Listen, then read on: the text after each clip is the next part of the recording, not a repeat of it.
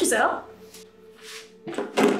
I can't believe this. You've been hanging out with someone behind my back? What? What are you talking about? Is that my phone? Are you going through my phone? Yeah, and I know everything. I've seen the text. Where's this S person that you've been texting?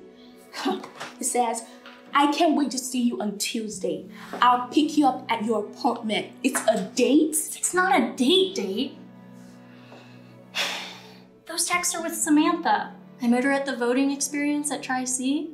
She just needed a ride to the polls on Tuesday, and I'm giving her a lift.